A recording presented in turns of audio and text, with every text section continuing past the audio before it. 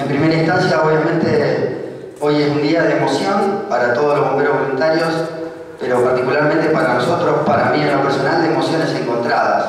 recordando a lo que ya no tenemos y siempre teniéndolo presente en nuestro corazón cada día, cada, cada evento, cada acto o cada situación en, en la cotidianidad nos hace recordar a ellos de la mejor manera, con la pasión con la que se han desenvuelto durante toda su vida como bomberos.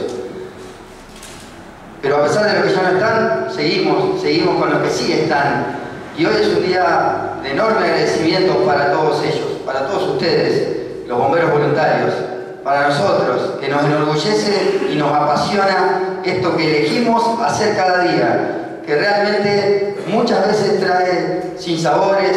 cuestiones no tan, tan lindas para nuestra cotidianidad y nuestra labor, pero que sin duda cada día de festejo, cada día que, que estamos en un acto o que ustedes están presentes, que nos hacen saber ese amor, ese cariño que tiene la comunidad hacia nosotros, nos llena de orgullo, nos sigue llenando de energía y de pasión para seguir haciéndolo hasta el fin de nuestros días, porque que alguna vez fue bombero siempre lo será.